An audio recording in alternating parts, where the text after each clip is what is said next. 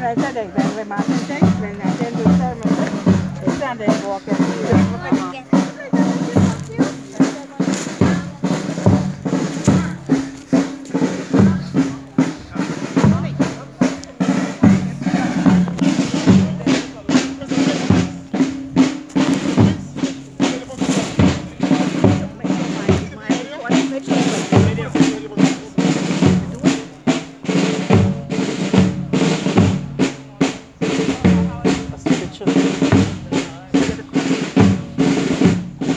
When I'll do, I send it to you.